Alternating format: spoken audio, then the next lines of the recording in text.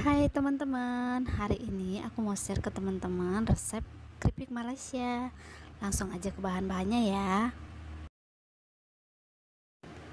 Ada 1 kg tepung terigu, 250 gram tapioka, 100 gram margarin, ada penyedap, garam dan bawang putih ya.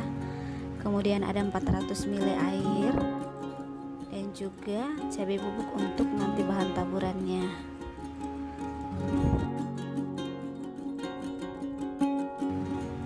Kemudian untuk tepung terigunya aku ayak ya.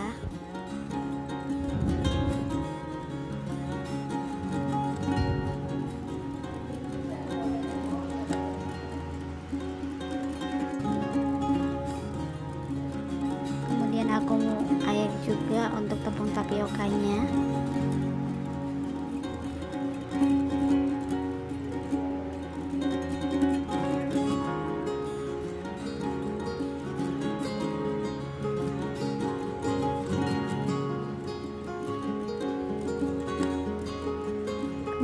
masukin bawang putih yang sudah di beserta garam dan penyedap ya. Kemudian margarinnya.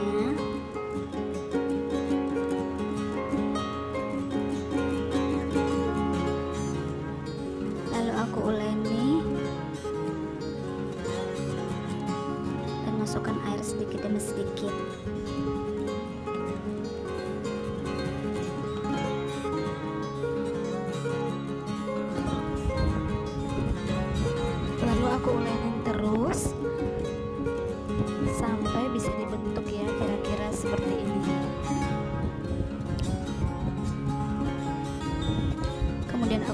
bulat-bulatin biar nanti gampang untuk digiling ya.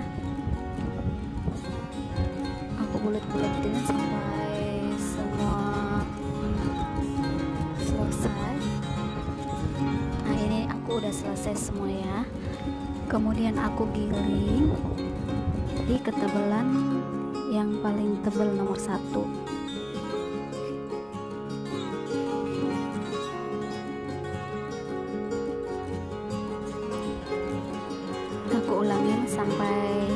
selesai ya.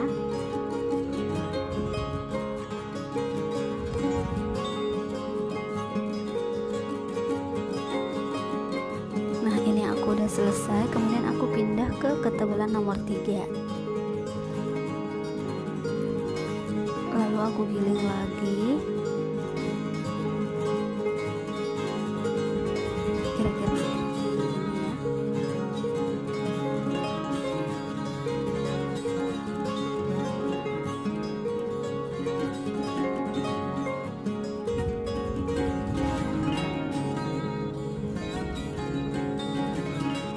sampai habis. Nah ini uh, udah selesai semua aku giling ya. Udah selesai ya. Kemudian aku ambil satu. Aku olesin minyak. Aku olesin sampai rata ya.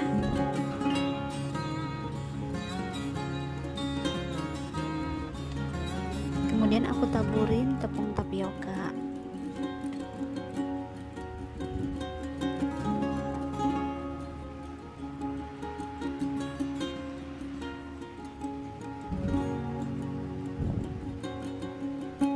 kemudian aku gulung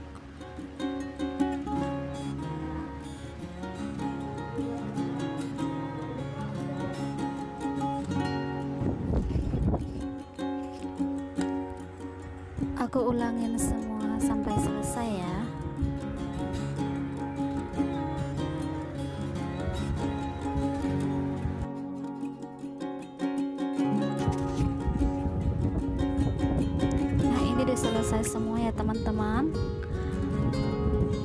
Jadinya segini.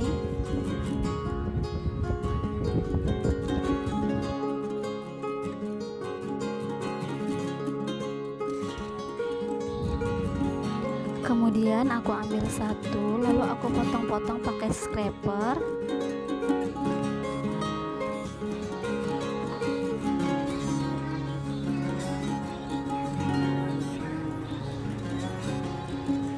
kemudian aku giling pakai rolling pin ya teman-teman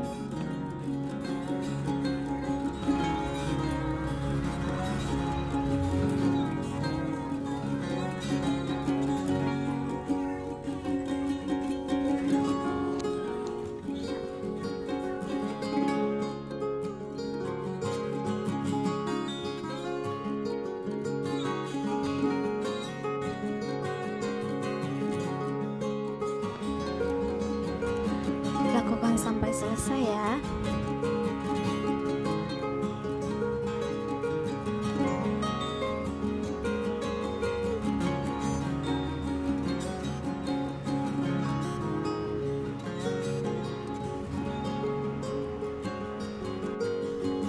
Nah ini udah selesai semua ya. Aku tipisin teman-teman Jadinya segini.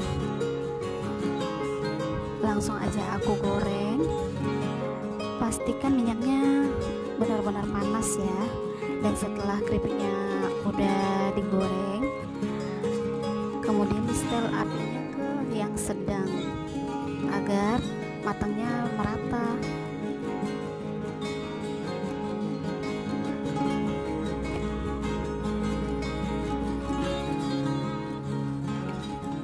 Kita aduk-aduk ya teman-teman agar tidak gosong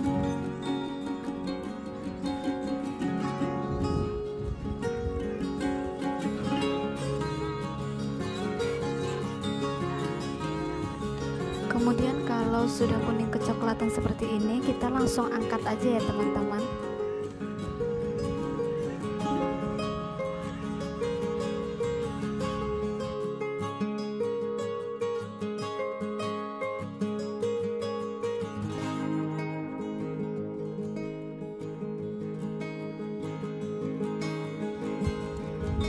Nah, ini dia hasilnya teman-teman.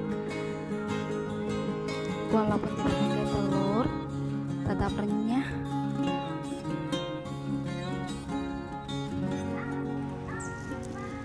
Karena aku nggak langsung packing, jadi aku masukin plastik dulu ya.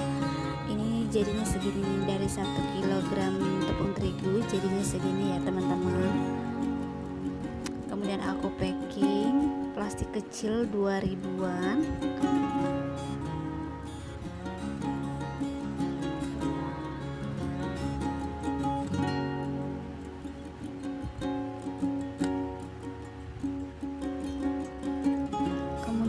langsung aja aku kasih bubuk cabai